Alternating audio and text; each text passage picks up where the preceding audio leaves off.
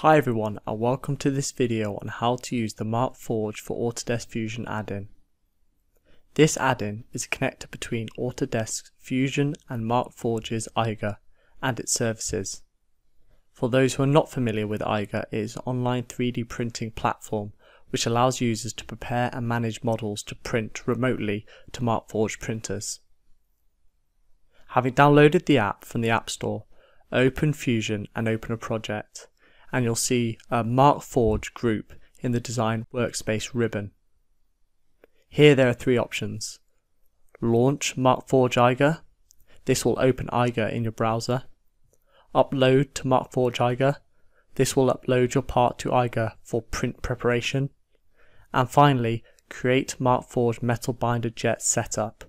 This will automatically create a setup for us to create the print file for Markforged's Binder Jet printer. We'll select Upload to Markforged Eiger and enter the API access key and API secret key which can be generated by your Eiger organization owner only. From here you can select which model you want to upload and which user is uploading it. If your part is a solid body, then you will have the option to select the tessellation quality.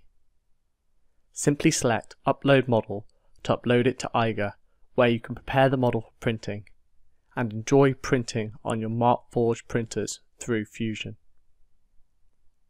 If we wanted to send the model to Markforged's BinderJet printer, then navigate back to the Markforged group and select Create Markforged Metal BinderJet Setup.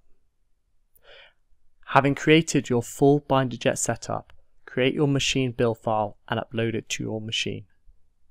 I hope you enjoy using Fusion to print your models on your Markforged printers. Thank you very much for watching everyone. Stay tuned for more videos.